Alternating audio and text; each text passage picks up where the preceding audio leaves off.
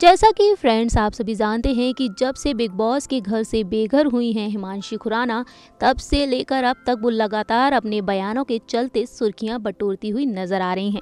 बता दें आपको कि जब शो में वाइल्ड कार्ड एंट्री के ज़रिए हिमांशी खुराना गई थी, तब से लेकर जब तक वो घर से बेघर नहीं हुई, तब तक आसिम की फ्रेंड बनी रही। और ऐसे में लगातार सोशल मीडिया पर ट्वीट करती हुई नज़र आती हैं हिमांशी खुराना। बता दें आपको कि हिमांशी आसिम को काफ़ी मिस करती हैं। वहीं आसिम भी शो में हिमांशी को मिस करते हुए दिखे हैं। ऐसे में फैंस को काफ़ी पसंद आई थी ये खूबसूरत जोड़ी। इन दोनों की दोस्ती किसी से छुपी नहीं है। वहीं अगर बात की जाए आसिम की तो हाल ही में आसिम कैप्टन का ताज अपने सिर पर सजाकर बैठ चुके हैं और इसके लिए हिमांशी बेहद ही खुश हैं। उन्होंने खुशी में अपने ट्विटर हैंडल अकाउंट से ट्वीट किया है। और उससे साफ़ ज़ाहिर होता है कि हिमांशी बेहद ही खुश हैं। तो चलिए आपको बताते हैं कि आखिरकार हिमांशी खुराना का क्या कहना है आसिम की कैप्टनसी को लेकर।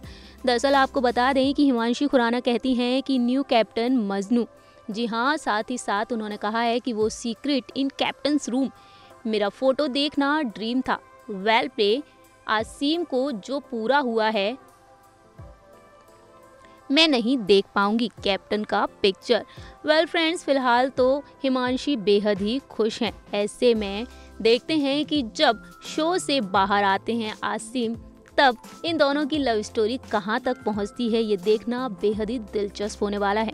लेकिन अगर बात की जाए इस खूबसूरत जोड़ी की तो इस खूबसूरत जोड़ी को फैंस भी बेहद मिस कर रहे हैं। यहाँ पर सोशल मीडिया पर लगातार हिमांशी आसिम की वीडियो शेयर करती हुई नज़र आती हैं तो जिससे साफ़ ज़ाहिर होता है कि हिमांशी के दिल में भी आसिम के लिए प्यार है। वहीं शो में जब वो पहुँची थी तो उन्होंने अपनी शादी के लिए भी कई सारी बातें कही थी।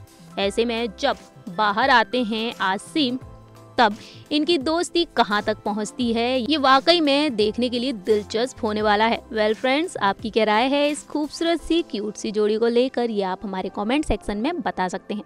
तब तक के लिए आप देखते रहिए नेक्स्ट नाइन न्यूज़ से प्रांशी की रिपोर्ट। Bye.